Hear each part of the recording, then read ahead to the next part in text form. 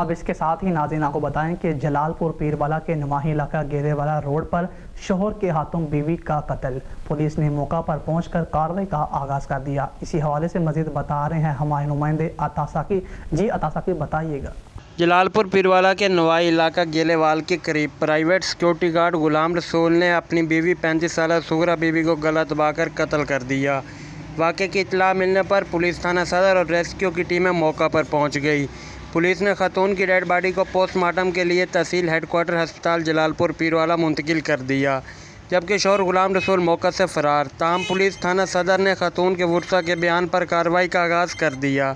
Police का कहना है कि पोस्टमार्टम रिपोर्ट आने पर मज़ीद कार्रवाई अमल में लाई जाएगी।